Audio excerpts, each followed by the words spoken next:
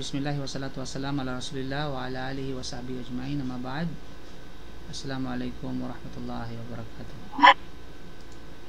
Ustad, salam lang daw sabi ni ano. Yes po. Sino po? Sa, salam lang salam lang daw sabi ni Jamil. Jamil Semin. Kasamahan mo daw dati sa ano. Ah, saan ba yan? Makkah. Ah, Jamil. ah, Sino pangalan?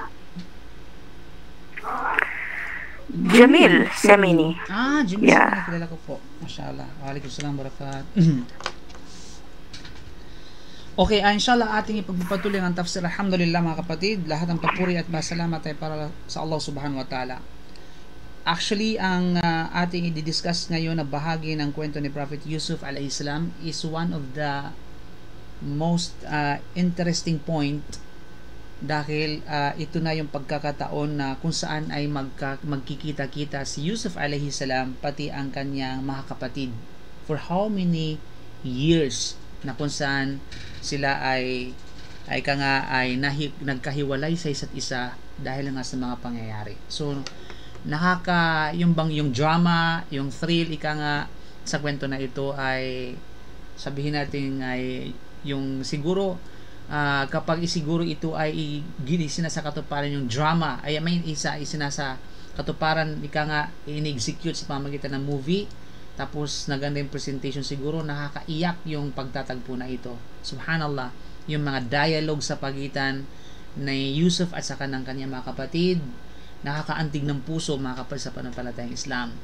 Okay? And hopefully inshallah ay ah, ah, we can hold our tears ika nga habang ikinakwento na ito inshallah subhanahu wa ta'ala.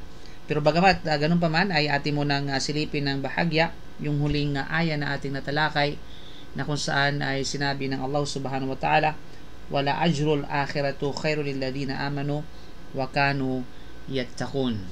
Okay, bago ito yung wakadhalika magkana li Yusuf fil ardi yatabawwa'u minha haythu yasha'u nusiba bara birahmatihi man nasha'u wala nudi'u ajra al muhsinin na kung saan sinabi ng Allah subhanahu wa ta'ala nga sa aya na ito uh, wakadhalika magkana nangangahulugan mga kapatid sa panampalatayang Islam at sa ganito biniyayaan ng Allah subhanahu wa ta'ala si Yusuf sa pamagitan ng pagkakaligtas sa kanya at pagkakalabas mula sa kulungan at uh, ipinagkaloob sa kanya ang ganap na pamamahala sa mga kayamanan sa buong kalupaan ng Egypt na pangasiwaan ng mga ito kailanman o saan man na niya gusto ni Yusuf alayhi salam dahil ang Allah subhanahu wa ta'ala ay binibigyan niya ng karangalan ang sinuman na kanyang nais pinagkalooban niya ng awa at biyaya ang sinumang kanyang nais mula sa kanyang mga mabubuting alipin at hindi niya binabaliwala ang gantimpala ng sinumang gumawa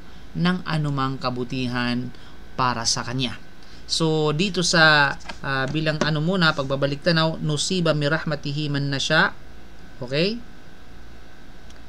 Nusiba birahmatihi uh, nusiba birahmatihi man nasya. Kaya irisin muna natin ito.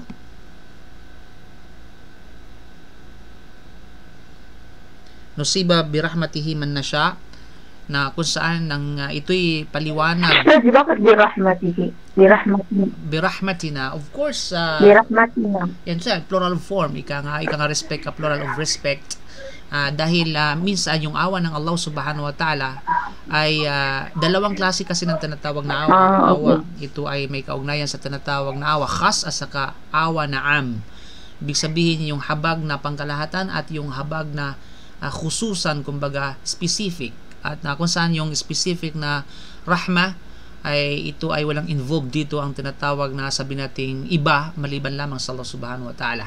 At ito ay particularly din na ibipagkakalob ng Allah para sa tinatawag ng mga mananampalataya lamang. At yung uh, sabihin natin pangkalatang rahma ito ay involved din dito at the same time yung iba kagaya ng mga ibang mga ilikha ng Allah subhanahu wa ta'ala upang may abot sa isang tao ang habag ng Allah sa kanya okay yon dito so it's a plural ika it's a plural of verses tulad sa nabi it's a plural of respect now uh, ang mahalaga dito nusibo birahmatina man na siya which is ka paliwanag ng ito yung paliwanag ng pagiging perpekto ng kanyang kapangyarihan ng Allah at ang pagpapatupad ng kanyang uh, will or kalooban ng Allah subhanahu wa ta'ala. Ibig sabihin, nagkaloob kami sa aming awa at biyaya at aming ibibigay ito sa anumang nais namin na ipinagkalob sa aming mga alipin alinsunod sa aming karunungan at aming kalooban. Ayon kay Imam Tantawi rahimahullah, wala nudiu ajral muhsinin, yung bagay na ito ay sila yaong mga at hindi ni ba wala nudiu at hindi namin babaliwalain ang anumang gantimpala ng mga taong gumagawa ng kabutihan. So sino it sila? Sila yaong mga natatakot sa pagsasakatuparan kung ano ang ipinagkatiwala sa kanila ng Allah na isa sa katuparan. Ngunit tinutumbasan natin sila o namin sila ng kanilang gantimpala para sa kanilang kabutihan sa mundong ito bago ang kabilang buhay kung ito ay gugustuhin namin. Okay? So walang duda, ang ajar na tinutukoy dito mga kapatid ay dito sa mundo at higit lalo sa kabilang buhay. Malinaw? Ang ajar. So, pertaining to Yusuf salam, ang ajar na para sa kanya, which is bunga ng kanyang pagtitimpi, bunga ng kanyang pag-cling at pag-adhere, paghawak sa lubid ng Allah subhanahu wa ta'ala, bunga ng kanyang pag uh, uh, pag-preserve ika nga ng kanyang pagkatao, 'di ba? At bilang pagkatakot sa Allah Subhanahu wa Ta'ala, tunay na ito ay nagantihan dito sa ibabaw ng daigdig at lalong-lalo na sa tinatawag na kabilang buhay. So ang ganti na, ang ganti doon, mashallah, look at Yusuf alayhi salam, kung ano ang nangyari sa kanya, 'di ba? Kung ano ang ibinagkaloob sa kanya ng Allah Subhanahu wa Ta'ala, 'di ba? Kaya nga uh, kaya dahil dito uh, pinaalala ng Allah Subhanahu wa Ta'ala si Yusuf alayhi salam at of course pangkalahatan tayong mga mananampalataya. Ang sabi niya na wala ajrul akhirah khairul lilladheena amanu wa kanu yattaqun. 'Di ba? Sabi niya na at ang gantimpala sa kabilang buhay na inilaan ng Allah ay higit na dakila kaysa gantimpala rito sa daigdig para sa mga naniwala at natatakot sa Allah. Na sila ay mga yaong natatakot sa parusa ng Allah at ang iyan sabi namin ng muttaqun. Yattakon na sila yaong mga natatakot sa parusa ng Allah at sinusunod na ang Allah subhanahu wa ta'ala sa kanyang batas na pag-uutos at ganun din ang tinatawag na pagbabawal. Okay, now, ganito nga mga kapatid sa panampalatayang Islam tinumbasan, tinutumbasan ng Allah si Yusuf alayhi salam, ang kanyang sabar, ang kanyang pagtitiis, ang kanyang pagtitimpi sa kabila ng lahat ng nangyari sa kanya na sa totoo lang merong rason, ika nga siya yung pinakamaraming rason upang uh, gumanti, upang tinatawag na magalit kumbaga. 'Di ba? Subalit naalala ko yung uh, pag uh, pinag-usapan natin ng pagganti, 'di ba? Si Propeta Muhammad sallallahu alaihi wasallam ito din yung kanyang tinatawag na ugali, si Propeta Muhammad sallallahu alaihi wasallam. Si Propeta Muhammad sallallahu ay hindi siya gumaganti na alin sulod lamang sa kanyang pangsarili. Pangsariling tinatawag na kapakanan. Gumaganti lamang siya kapag pinag-usapan natin ang karapatan ng Allah subhanahu wa ta'ala. Pag inalugpusta ng tao ang karapatan ng Allah at niyurakan ang karapatan ng Allah, saka pa siya gaganti. Pero pag siya niyurakan ng mga tao, hindi siya gumaganti. 'Di ba? Katulad halimbawa ng pagsakop ng uh, ng pag-concur ng uh, ano ng uh, ng Kaaba, yun yung actually malaking chance yun para mapas lang niya lahat ng mga mushrik doon pagkakautan na pagkakataon na yun. 'Di ba? Sapagkat uh, thousands of thousands of Muslims from Medina ay uh, talaga nagtungo ng Makkah which is ay uh, ay nga outnumbered ang mga taga Makkah sa dami ng mga Muslim na pumunta sa Makkah. 'Di ba? Yung mga Quraysh na outnumbered sila ay talagang uh, takot at takot sila dahil sa dami-dami ng mga Muslim. So kung yung ibang leader pa sa ganung pagkakataon, no, talagang pagkakataon na yun para papaslangin yung mga tao at yung mga mahihina sa kanila. Subalit hindi ginawa yun ni Propeta Muhammad sallallahu alaihi wasallam. Subhanallah. Bago sabi pa niya, binigyan pa nila ng pakarangalan, ika nga, yung malalopat yung mga, ano, yung mga tao sa, mga ilan sa kanila, waman dakala. Si ano, mismo, si uh, kay Sufyan, Samantalang si Sufyan time hindi pa tinatawag na Muslim at yung pagkakataon na yun ay nag-Muslim siya dahil sa pagbibigay ng parangal ni Prophet Muhammad sallallahu alaihi wasallam kay Abi Sufyan sa kanyang tahanan. Wa man dakhala fi baiti Abi Sufyan faqad amana. Sino man ang uh, pumasok sa pamamahay ni Abu Sufyan, siya ligtas at hindi siya mapapahamak. Hindi siya hindi siya sabihin natin ay uh, uh, tadagain at uh, tikitilin ng buhay. Di ba? So tuwang-tuwa si Abu Sufyan. Na supposedly si Abu Sufyan, it's a mastermind or one of the architect, ika nga, or mastermind kung bakit, o dahilan, nagiging dahilan kung bakit nagkaroon ng Gazwatul al Gazwatul o Gazwatul uh, Gazwatul Badar. Walang duda. Siya yung nag uh, siya yung naging uh, dahilan pinakamalaking uh, dahilan bakit nagkaroon ng Gazatul Badar, si Abu Sufyan. 'Di ba? At maraming ginawa si Abu Sufyan laban sa mga Muslim before the before the sabihin natin before na siya naging Muslim. Subalit uh, hindi 'yun ang ginawa, hindi 'yun tinitingnan ni Prophet Muhammad sallallahu alaihi wasallam. Kasi bakit hindi na papaano mag-Muslim si Abu Sufyan kapag siya nag-Muslim, marami ang magmu-Muslim. Kasi siya yung one of the leader ng Quraysh, si Abu Sufyan. Kaya yung ginawa. And of course, one of the, sabihin natin, mastermind sa pagpatay sa kanyang uncle na walang iba kundi asawa ni Abu Sufyan, si Hind. Okay, si Hind mismo na isang babae na mastermind, ika nga, ng isang uh, is ng uh, ng uh, nag-hire ng isang assassin para mapatay si Hamza sa Ghazwat Uhud. At yung walang iba kundi si Washi 'di ba? Na kung sa anong ginawa ni anong ginawa ni ano ni Hind kay uh, kay, uh, kay Hamza radhiyallahu anha, radhiyallahu anhu, pina, tinaga yung ulo, hiniwala yung ulo sa katawan, tapos pinagpipira-piraso itong tinatawag na mga bahagi ng katawan, katulad ng ilong, katulad ng tainga, at yung bungo ay ginawa, inuman ni Hind dahil sa uhaw sa paghiga, paghihigante. Subhanallah, pero that time, nagmuslim si Hind sa tinatawag na during the conquer of Makkah. Uh, lahat ng ito hindi tinitirang sila na paghihiganti mga kapal sa panampalatayang Islam is all about the outcome ika nga ng la ilaha illallah ng kanyang pagdaa pag-imbita sa mga tao ito yung pagkakataon para ang tao ay magmuslim. Di ba? Subhanallah. Kaya naman bilang aral ika nga sa atin, hindi tayo pwedeng uh, mag-isip pa paano tayo makapaghiganti sa at mga nagkasala sa atin. Di ba? Ika nga uh, the best revenge ika nga is to is to prove them that they, that they are wrong and you are right. Ika nga, at the same time ay uh, yung dawa sa kanila, 'di ba? Yung tinatawag na mabuting pahigitong idfa billati hiyasan, sabi ng Allah, ay bagos tumbasan mo ng kabutihan yaong mga taong gumawa ng kasamaan sa iyo. 'Di ba? Subhanallah. And who knows sa pamamagitan ng gawain mo na yaon ay sila ay mapabuti at magabayan ng Allah Subhanahu wa Ta'ala. Kaya dahil dito mga kapatid sa pananampalatayang Islam, uh, si Yusuf alayhi salam yun nga ay uh, tinumbasan yung kanyang pagtitimpi, yung sabar niya, ang kanyang kabanalan at kabutihang gawa sa kung ano ang narapat mula sa kabutihan at kilagayahan sa mundong ito at higit lalo sa tinatawag na hinaharap.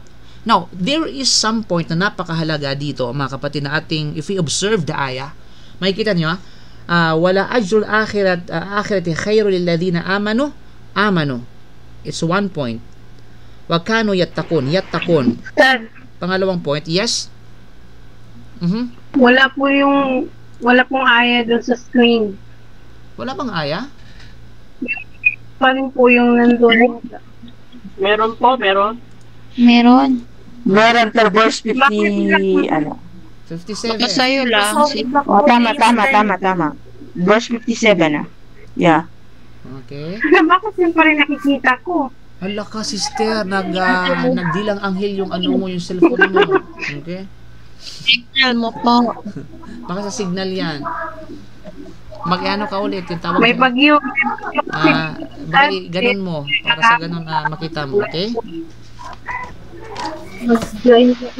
Okay, so unang mga kapatid, mapapansin natin dito is amano. May papas at saka yatakon. Makikita yung amano, it's a past tense. Na kung saan ito ay may kinalaman sa tinatawag na iman. Right? Yatakon, mapapansin ninyo, it's a present tense. Na kung saan may kinalaman sa tinatawag na takwa. Right? Ang tanong dito, bakit dito is past tense pagdating sa takwa is present tense? 'Di ba? So bakit yung uh, ito uh, which is uh, ubira bi al-madi wa hina ubira bi al-mudari. Sabihin ay itong pahayag na ito dito sa pagdating sa iman ay past tense pero pagdating dito sa tinatawag na takwa ay present tense. Subhanallah. Eh, yung mga mga ulama natin na talagang ay uh, sinisiyasat nila ika nga yung mga lahat ng mga salita at mga termino na ginagamit sa bawat aya. At bakit ganito at bakit ganyan? At bakit hindi ganito at bakit hindi ganyan? Lahat ng ito ay mayroong kapaliwanagan. So ang pagpapahayag sa panig ng iman ito yung panig ng iman. Khairul ladina amanu. At wala ajru akhira at ang gantimpala okay sa kabilang buhay khairun lil ladina khairun mas mainam para sa mga ayataong amano para sa mga taong nanampalataya naniwala di ba yan ang ibig sabihin no ang pagpapahayag sa panig ng iman ay nasa past tense or pang nagdaan kaparaanan, it's a past form ika nga of the verb. At sa panig ng takwa naman, it's a present tense, pangkasalukuyang tinatawag na uh, form. Bakit? Anong pagkakaiba? Okay? Supposedly, wakano, okay? Waka, kasi wat takaw, di ba? Hindi wayat takon. Bakit? Sapagkat kasi, ang iman ay isang matibay na kasunduan ng puso. Isang matibay na kasunduan ng puso. Kaya nakamit ito ng isahan. Kaya nga't ang isang tao na tinatawag na may iman na iman. Pag sinabing iman, naniniwala sa Allah, naniniwala sa kabilang buhay, naniniwala sa tinatawag na propeta Muhammad sallallahu alaihi wasallam, naniniwala sa mga kapahayagan, yun ang tinatawag na iman. Ibig sabihin, nandiyan na yung iman ng isang tao. Isa, dumating lang sa isang tao ng isang beses lang, isang isahan lang yan. Okay? Isang tinatawag na isahan. Okay? Subalit, pagdating sa tinatawag na takwa, sa usapin ng takwa, ito ay nababago-bago yung takwa ng isang tao, nababago-bago yan. Sa pamamagitan ng pag-update ng mga dahilan para sa utos at pagbabawal at pagkakaiba-iba ng mga kilos o gawain at panahon. Di ba yung takwa ng tao? Kasi ang iman at sa katakwa, lahat ng ito ay napapaloob sa puso ng isang tao. Pakatandaan natin yan. Okay? Subalit yung takwa ng tao minsan na-fade minsan ay nawawala at minsan ito ay nababago. Depende sa kanyang gawain, depende sa mood, at depende sa tinatawag na sabihin natin ng panahon. Okay? Subalit yung tinatawag na iman, isang datingan lang yan. Ang, kaya lahat ng tao, ika nga, lahat ng tao mayroong iman, lahat ng tao may iman, subalit hindi lahat ng tao mayroon tinatawag na takwa. Di ba? Halimbawa, Muslim, lahat may iman sila. Pero hindi lahat ng Muslim may mayroong takwa sa Allah subhanahu wa ta'ala. Kasi ang iman nandiyan na yun eh. Yun yung root. Yun ang tinatawag na sabi nating root. Para mag-Muslim ka, magkaroon ka ng iman. Magkaroon ka ng tinatawag na iman. Okay? So, subalit, uh, para ma, lalong lumalago yung iman mo na yan, lalong magiging matibay yung iman mo, kinakailangan mo ng takwa. Kinakailangan mo ng tinatawag na takwa. Kaya naman, yung verb na ginamit dito is akma, yung, yung takwa, kaya naman angkop na gagamitin yung tinatawag na presence. Sapagkat tuloy-tuloy yung tinatawag na takwa. Okay? Tuloy-tuloy yung tinatawag na pagkakaroon ng takwa, nababago-bago yung takwa, after that fade, after eh, ano, kakambyo agad, pagkatapos mawala, kakambyo agad. Continuous process yung tinatawag na takwa. Okay? Continuous process. Ibig sabihin, nawawala minsan, after that nawawala, nababalik. After nababalik, nawawala. Pagkatapos, babalik. Yun yung tinatawag na takwa. Kaya naman, just like a present tense. Kaya pa, patuloy na patuloy ito Okay, kasi pag sinabi mong past tense, nangyari na at hindi na pwedeng tinatawag na sabihin natin na maulit muli. You know? Hindi katulad ng iman, nandiyan na yung tinatawag na iman, kaya isang datingan lang yung tinatawag na iman. Pero yung tinatawag na takwa, ito ay pabago-bago at pabalik-balik yung tinatawag na takwa. So yun kaya naman. Ustad, yes. yung takwa ba is yun yung piety? Yes, it's a piety ka nga na ang indikasyon ng Then iman is faith, yes, right? Yes, faith. Okay po, yun po yan. So, paano po ma natin mamimaintain yung takwa natin kay Allah? Okay. Ang takwa, para mamimaintain mo yung takwa, every time na ikaw ay gagawa, kinakailangan siguraduhin mo na yun ay naayon sa Quran at sa Kasunna. Kasi pag sinabing takwa, ang ibig sabihin ng takwa, from the word, isa sa mga derived form ng tinatawag na takwa, ay walang iba kundi wikaya. Isa yan. Wikaya, ang ibig sabihin ng wikaya is protection Okay? Panans, uh, pananggalang kumbaga. Protection sa alin? Protection ng sarili mo mula sa naglalagablab ng apoy ng impyerno, mula sa parusa ng Allah. So ano yon? Kinakailangan mo ng taa, pagsunod sa Allah, at kinakailangan mo ng tinatawag na pag-iwas sa mga ipinagbabawal ng Allah. Yun yung diwa ng takwa. Ang takwa ay susundin mo ang utos ng Allah at iiwasan mo ang ipinagbabawal ng Allah subhanahu wa ta'ala. So, kailangan ma-maintain yun, tanatang na pagsunod at sa kapag iwas sa ipinagbabawal. Okay? Bisa amur ma'aruf wa nahi anil mungkar. Malinaw? So, para ma-maintain yung tinatawag na takwa. So, at mahirap i-maintain. Takot sa Allah. Yes. Yeah, yes. yung takot sa Allah, takot sa Allah, yun ang takwa. Yes, yeah, it's basic, yung mga pagkatakot sa Allah, pangamba sa Allah, that is basic uh, tinatawag na mababaw na kahulugan ng sabihin natin ng takwa. Pero if you, ika nga, if, if uh, sabi natin, if you dive further, kung ano yung ibig sabihin talaga nito, magpapalalim tayo, yun nga, yun yung pagsunod uh, sa kanya mga sabihin natin, pagkautusan at pag-iwas sa kanya mga ipinagbabawal. Yan yung tinatawag na takwa. Nina? So, na, nalilink po siya sa tawakal. Tawakal Iba yung tawakal. Ang tawakal, yun yung tinatawag na rely. Pa, ipaubaya mo ang bagay Ah. sa Allah subhanahu wa ta'ala. Yun ang tawakal. Amen. You know? So lahat ng bagay ya ipapaubaya mo, mga gawain mo, mga decision mo sa buhay, di ba? Ipaubay mga sabi natin panghihina nakit mo, ika nga, paghihinagpis mo, lahat yun ay ipaubaya mo sa Allah subhanahu wa ta'ala. Yan na? Yan tawakkul. Yan, sabi na is tawak, tawakkul. Iba yung tawakkul sa tiwakal. Okay? Ang tiwakal, okay? Ang tiwakal, oh, actually, there's an, uh, there's an Arabic word for no, tiwakal or tawakul. Okay? Ang tawakul or tiwakal, Actually, yeah, Yun yeah. yung, ah, Actually, ang word na tawakal, Mm. yeah, even sa salitang Maguindanao is pagtawakal. Ipagsalig yung kirlang-langon sa Allah. Yun yun. Ano pa? Yeah. Okay, ang ah, ang tawakul kasi we have a two words na which is identical but uh, there's some different ika nga, difference na kung saan ang isa is tawakkul. Ang pangalawa is tawakul. Medyo mayroong prolong sa wa. Okay? Yung isa is walang prolong, ito ay may prolong. Ang pag guys, it is a positive And it is rin. is negative. Okay? Ta it is positive, it is negative. Pa- Paano magiging negative? Negative, ah, negative in the sense na mag, magtitiwala ka sa Allah, subalit ang tawakol ay wala kang ginagawa. Ipapaubaya mo lamang siya pero wala kang ginagawa. And that is tawakol. Yun ay tiwakal. Okay? Pag, pag, pagtitiwakal yan. Malinaw? Na para bagang, uh, ay, total, andyan na mga pinaubaya ko sa Allah. Tapos kahit hindi ako mag, magtatrabaho dito, andyan naman ang Allah subhanahu wa ta'ala. That is tawakol. Yun ay itikhado biduni asbab. Ang tawakkul, yun yung ah, nagtitiwala ka sa Allah na ginagawa mo yung kaparaanan na pinahintulot sa iyo ng Allah. Halimbawa, sa isang kamilyo, okay, sa, sa, sa isang tinatawag na kamilyo. Ang kamilyo ay kapag tinalian mo yung tinatawag na sabihin natin na ah, pag tinalian mo yung kamilyo bago ka matulog, di ba? Tapos after that, eh, pinagkatiwala mo sa Allah.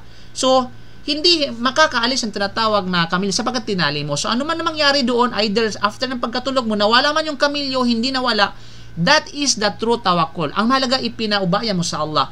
Yung tawakol ay ah, natutulog ka, tapos hindi mo tinali yung kamilyo mo. Okay? Hindi mo tinali yung kamilyo mo, kaya nakawala yung kamilyo. Maninaw? So, yun ang tawakol. Yung sabihin, nagtitiwala ka sa Allah, pero hindi mo ginagawa yung mga kaparaanan. Yung mga gawain na harapat sa'yo sa bagay na ito, alinsunod sa pinahintulot sa'yo ng Allah subhanahu wa ta'ala. Okay? So, yun po yung pagkakaiba ng tawakol sa tawakol. So, ang tawakol is positive, ang tawakol is negative. Okay, ang tawakol ay ipinag-utos sa atin ibada. Ang tawakol, ito ay sabi nating ipinagbawal sa atin. You know? So yun ang indikasyon po ng uh, amano, wakano, yatakun. Kaya nga present form ang ginagamit dito, samantalang ito ay past tense dahil yun ang tinatawag na ibig uh, ipakahug- ipakahulugan. Uh, anyway, nang uh, nasiyahan si Yusuf alayhi salam sa kanyang kaharian, mga kapatid sa panampalatayang Islam, ito na.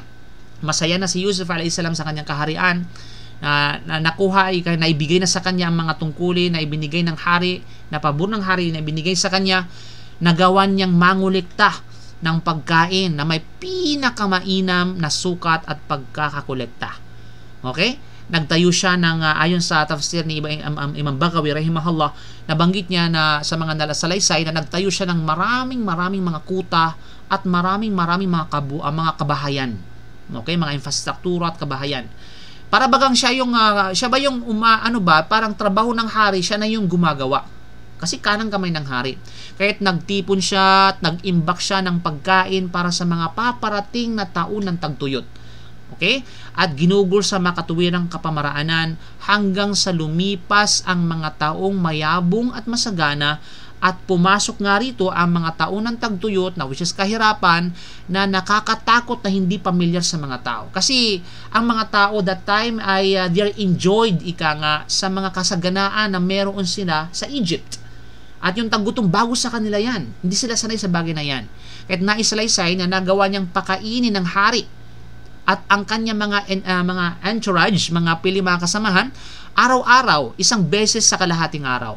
Isang beses sa tinatawag na kalahating araw. Nang pumasok ang taon ng tagtuyot, ang unang nakakuha ng gutom ay ang hari mismo sa hating gabi. Sa amin Imam Bagawi. Okay, na sa un, nung dumating yung tinatawag na tagtuyot which is uh, uh, ika nga umpisa ng uh, uh, ng pitong taong sunod-sunod na drought Okay, years year, uh, years of drought kumbaga, ang una nakaguto o nakaramdam ng gutom ay walang iba kundi ang hari sa hating gabi. Kaya tumawag siya. Okay? Aljo, Aljo. Okay, oh Yusuf sabi niya. Okay? Yeah, Yusuf, Aljo, Aljo. Gutom na gutom, gutom. eh, this is it. 'Di ba? Gutom, gutom. Di ba? Tumawag siya, sobrang tinatawag na ano. Kasi talagang, umpisa pa lamang nagtipid na talaga sila. Kasi alam nila yung magiging outcome. Especially ni Yusuf, alayhi salam. Kaya naman mga kapatid, kung ating papansinin yung tinatawag na aya, o waja ikhwaton, nag-jump yung aya, ika nga, sa pagkikita ni Yusuf at ng kanyang mga kapatid. Hindi na isalaysay sa, sa banal na Quran kung ano yung mga nangyari doon sa unang pitong taon ng kasaganaan at yung another pitong taon ng tinatawag na kahirapan o kaya itagtuyot. Hindi hindi dinetalyado ng tinatawag na Quran sapagkat alam na na kung ano yung magiging mangyari sa kasaganaan at ano yung magiging mangyari sa tinatawag na uh, sabihin natin tagtuyot. Hindi na kailangan idetalyado. Pero inshallah magbabanggit tayo ng mga mangilan-ngilan sa mga kwento na mga mufassiron kung ano yung mga uh, sabihin natin mga ilang mga nangyayari at kaganapan sa mga taunang ito. Either sa taunang uh, uh, kasagsagan ng kaginhawaan at sa taon ng tinatawag na sabihin natin ng tinatawag na kahirapan o kaya tagtuyot mga kapatid sa panampalatay Islam. Okay? Bago tayo dadako sa tinatawag na susunod na aya inshallah subhanahu wa ta'ala. Kaya nga sinabi mga kapatid na sinabi ni Yusuf nung sinabi ng hari na ang gutom, ang gutom, dumating na yung gutom sa hating gabi. Sabi na sabi ni Yusuf alayhi salam, ito na nga ang oras ng tagtuyot. Ito na nga yung oras ng tagtuyot. Sa unang taon ng tagtuyot, ang lahat ng kanilang inihanda sa masaganang taon ay nawala. Kasi sa 7 years, within 7 years, pangunahing, pangunahing term, ika nga ng 7 years na pamumuno ni Yusuf alayhi salam, wala na, masagana yung mga taga, lahat ng mga pananim, nag-harvest sila tulad ng na-interpret ni Propeta, ni Propeta Yusuf alayhi salam, na ginawa nila yaon nag-ani, nagtanim na nag-ani, inimbak yung lahat ng mga inani, ipinespreserba, nagtipid sila hanggat maaari, ika nga, hindi sila lumagpas doon sa pang uh, extravagance, hindi nila ginawa yaon. Kaya nung dum- dumating yung unang tagtuyot, ang ginawa nila is ang lahat ng kanilang inihanda sa masaganang taon na nakalipas ay nawala. Naubos, kumbaga. Kaya't nangalakal ang mga taga-Ehipto ng pagkain mula kay Yusuf alayhisalam. Magsimulang yung mga tao doon sa Egypt ay bumili ng pagkain. Okay, kay Prophet Yusuf alayhisalam, di ba? Kaya siya ay bumibili sa kanila sa unang taon ng pera. Pera yung ginagamit hanggang sa walang dinar o wala ng dirham na natira sa Egypt maliban sa isang kamaong pera. Ibig sabihin, nang, nangaubos ang tinatawag na pera mga kapatid sa panampalatayang Islam. Okay? At uh, pagkatapos ay ipinagbili niya ang mga ito sa ikalawang taon ng mga alahas at hiyas hanggang sa wala nang natira sa kanya sa kamay ng mga tao. Una, unang taon yung pera. Pagkatapos yung mga jewelries and mga jewels, ika nga, yun yung mga hiyas, yung mga sabihin natin, yung mga alahas, yun na yung pamalit, kumbaga. At nakikipag, uh, na, pangatlo, nakipangatlong taon, nakikipagkalakal siya sa ikatlong taon sa pamagitan ng mga hayupan mga mga mga hayupa naman. Ibig sabihin yung mga bakahan, mga kambingan, mga mayroon mang karabaw sa ano? Egypt. Anyway, okay, uh, okay, cattle, livestock, ano man katulad nito. Hanggang sa nasakop niya ang lahat ng mga tinatawag na mga hayupan nasa kanila kasi pinagbili ng mga tao eh. Kailangan nila na makakain. Di ba? So, ang ginawa ng mga tao, pupunta doon kay Yusuf a.s. i-barter, kumbaga yung tinatawag na ito yung hayop, okay? Kapalit ng pagkain. Ganun yung uh, nangyari sa pangatlong taon mga kapatid sa panampalatayang Islam. At pag ipinagbili niya, ipinagbili niya ang mga ta ito, yung mga hayop naman sa ikaapat na taon para sa mga aliping lalaki at aliping babae. Hanggang sa walang naiwan na aliping lalaki o aliping babae sa kamay ng sinuman. Kasi dati time, kasi syempre, sa mga panahong yaon ay pwede mong, pwede mong i-barter or pwede mong i-business, kumbaga, okay, i-auction ang isang alipin, babae man o tinatawag na lalaki. Hanggang sa wala nang natitirang aliping, babae at sa kamay ng sinuman. Lahat ay nasa kay Yusuf alayhi salam na. Di ba? At the same time, panglima, at ipinagbili niya ang mga ito sa ikalimang taon sa mga state. So, uh, siyempre, sa mga natitira sa mga tao, ay walang iba kundi ang tinatawag na state. Okay? State at saka mga sabihin natin mga lupain, mga kapatid sa panampalatay Islam. State o real estate at bahay hanggang sa nakuha niya ang mga ito. Hanggang sa nakuha ni Yusuf ang mga ito. At sa ka-anim na taon ay pinagbili niya ang mga ito kasama ang kanilang mga anak hanggang sa naging alipin niya sila. Subhanallah. Dahil lang because of the hunger. Dahil sa, siyempre, kailangan ng makain ng tao, gagawin ng lahat. Kahit ipagbinta nila ang kanilang mga anak, ang kanilang mga sarili, para lang mapunta kay Yusuf at mapakain sila at sila mapakain. At sila'y mapakain. Di ba subhanallah mga kapatid? At pinagbilin niya ang mga ito sa ikapitong taon kasama ang kanilang mga tagapag-alaga. Kasama ang kanilang mga tagapag-alaga. Okay, at the same time, ang hanggang sa hanggang sa alipin niya sila. Kaya naman, walang natitira, sabi ni Imam Bagawi, walang natitira na malayang lalaki o malayang babae sa Ehipto maliban sa naging alipin niya silang lahat. Subhanallah. Mantakin nyo kapatid. Ganun yung nangyari sa panahon no, ng Ehipto mga kapatid. Subhanallah, yun yung ika nga para matakin yung nagiging sayyid, nagiging ano na, nagiging master si Yusuf salam at ang kanyang mga nasasakupan ay kanyang mga alipin na yung mga lahat ng tao sa Ehipto. But of course, iba-iba sa hari at ang mga uh, entourage ng mga tinatawag na hari, mga, mga piling kasamahan ng mga hari. Malinaw? So, mantakin nyo, yun yung pabor na binigay sa kanila ng Allah subhanahu wa ta'ala. ba diba? Grabe ang uh, panahon ng... Ibig sabihin, napakatinding tanggutom. Pero mantakin nyo, 7 years. Talagang uh, gagawin ng lahat ng mga tao para lang mayroon silang uh, uh, makakain, pamalit ng anumang meron sa kanila. Kahit mga sarili nila, ay talagang uh, ipagkakatiwa nila at gagawin nilang tanatong alipin ni Yusuf para lang meron silang makakain. Subhanallah. Kaya nga, sinabi ng mga tao after that, wala pa kaming nakisabi ni Mambagawi sa kanyang tafsir, wala pa kaming nakitang araw na tulad ngayon. Isang anghel na hulog ng langit o mas dakila kaysa rito, sabi ng mga tao. Nang maggagayon, sinabi ni Yusuf sa hari, ano sa palagay mo o hari, kung ano ang ginawa ng aking Panginoon sa kung ano ang pinahintulutan niya sa akin. Kaya ano ang palagay mo tungkol dito? Sinabi ng hari sa kanya, ang opinion ay sa iyo at susundin ka namin.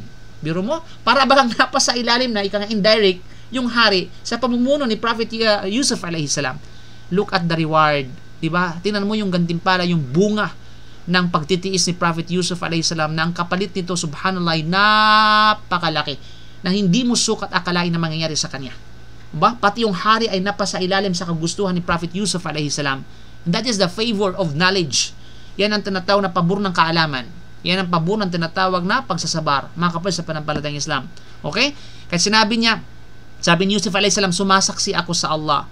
At ang iyong pagtutuo, pagpapatutuo, pag, pagpapatutuo na pinalaya ko ang mga tao sa Ehipto sa kanilang huling araw. 'Di ba? At ang aking kanilang pag-aari ay naibalik ko sa kanila. So after that later mga kapatid ay naibalik yon Hindi inabuso ni Prophet Yusuf alayhi salam. Okay, ginawa na lang yaon para sa ganun ay dahil sa at yun, dahil sa pinag-utos sa kanya ng out pinag uh, pinahintulo sa kanya ng Allah Subhanahu wa Ta'ala. But later on ay pinalaya silang lahat at uh, bilang malaya at inaalipin at ibinalis sa kanilang property. So yun yung hindi corrupt na tao.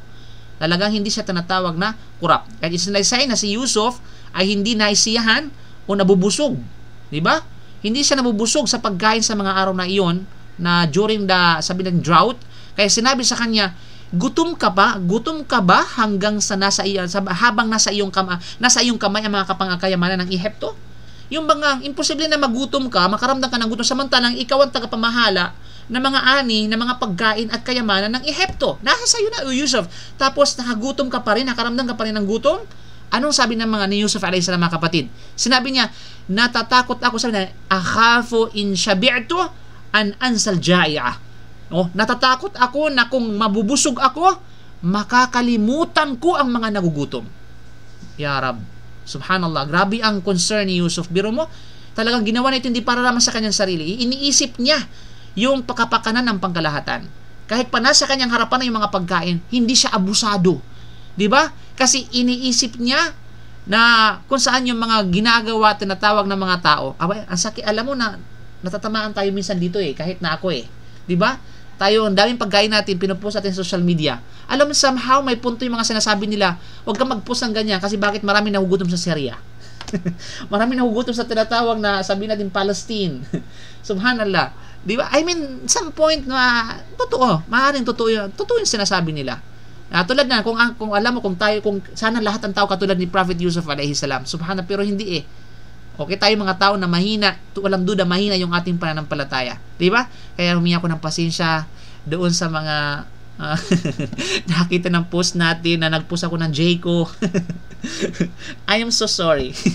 Gusto ko lamang ipahe, ipano yung tinatawag na biyaya ng Allah subhanahu wa ta'ala at meron mang nasaktan, pasensya na po, okay? Huwag kayo pong mag-alala kung kayo nagugutom, punta kayo dito at marami akong Jacob. akin kaya. Ustad, donut, donut yun, Ustad, donut. donut po yun. Anyway. Yung Jacob? yes po. Anyway, ha. Eh, sinabi, ay napakaga ng salita ni Yusuf salam. Natatakot ako na kung mabusog ako, makakalimutan ko ang mga nagugutom. Ya Rab. Subhanallah. At si Yusuf salam ay nag-utos sa mga tagapagluto ng hari na gawin ang kanyang tanghalian sa kalahating araw. Okay? Gawing tanghalian uh, kaysa kalahating araw at sa pamagitan nito ay nais ng tikman ng hari ang lasa ng gutom upang hindi makalimutan ang nagugutom. Okay? Biro mo, gusto niya na iparating para sa ganun kasi mga hari minsan ay uh, uh, ika nga sabi natin mga ano eh, mar- mararamot eh. Kaya para maging lesson sa kanila ay pinatikim ngayon ang tinatawag na ano na ni Yusuf alayhis salam sa mga hari upang hindi makalimutan ika nga ang na mga nagugutom. Kaya ginawa ng mga hari ang kanilang pagkain na kalahati sa araw at ang kalahati sa gabi. Okay? Para lamang makatipid mga kapatid at hindi sila maubusan ika nga ng biyaya sa mga darating pa at mga susunod na mga taon at mga araw. So yun yun mga kapatid sa panampalatayang Islam, yung mga na hindi nabanggit na mga kwento sa maging sa banal na Quran. Okay? At maging sa mga tanataw na salaysay sa mga sa mula sa mga hadith, ito ay na-kolekta ng mga ulama natin batid sa mga history na kanilang nalikom sa mga nauna. Kaya naman na uh, gusto ko mang ipagpatuloy yung pagtatagpo ni Prophet Yusuf pati ang kanyang mga kapatid. Subalit tayo, tayo ay naubusan ng oras. So inshallah parang bukas hindi na tayo maabutan ng oras. Maubusan ng oras ay bukas wala mo ng ruleta para matunghayan natin ang ganda ng pakikipagtagpo nila pati yung pag uh, yung dialogue ni Yusuf alayhi salam binitiwan napaka powerful na dialogue ika nga ang binitiwan ni Prophet Yusuf sa kanyang mga kapatid. Matutunghayan natin yan bukas inshallah subhanahu wa ta'ala at ang iyakan ika nga na mangyayari ay yung drama na mangyayari sa pagitan ng pagtatagpo nila at yung mga kondisyon at pag uh, yung tinatawag na pag uh, pananakot ni Yusuf alayhi salam sa mga kanyang mga kapatid. Okay, let's Ika nga, litas uh, si kung nga ito ba'y nag-revenge talaga si Prophet Yusuf alayhi salam? Kinulong ba niya ang kanyang mga kapatid? Pinarusahan ba niya ang kanyang mga kapatid? Or salungat dito? Matutunghayan po natin sa susunod nating programa, inshallah. Walang iba kundi ang tafsir surat Yusuf. So, jazakumullahu khair. Wa akhiru dawan. Yes. Alhamdulillah. Subhanahu kami hamdi. Alhamdulillah.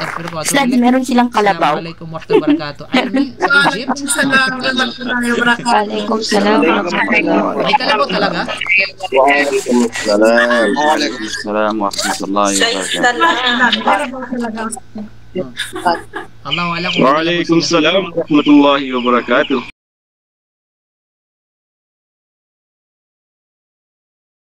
Thanks for watching.